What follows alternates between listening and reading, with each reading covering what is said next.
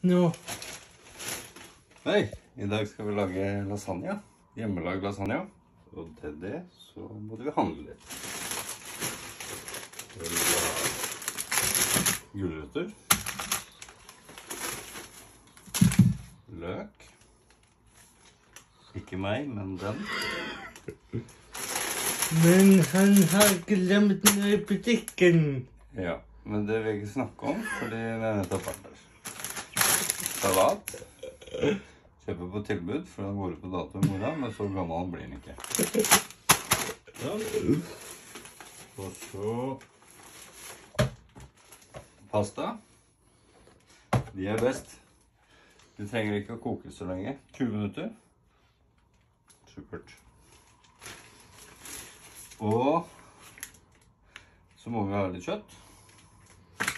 Ellers så blir det ikke lasagne. Og en aldri så liten pose med ost. Det bruker vi hele. Ost er godt. Og så, da, siden det tar så lang tid å lage denne lasagnaen, så er det viktig med noen snacks i mellomtida. Sånn. Så da har vi én ting, men det hadde jeg i kjøleskapet.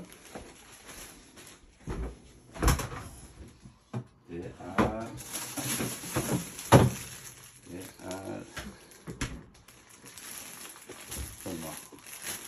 Selleri. Er det ikke det? Jo, selleri. Oh, ja.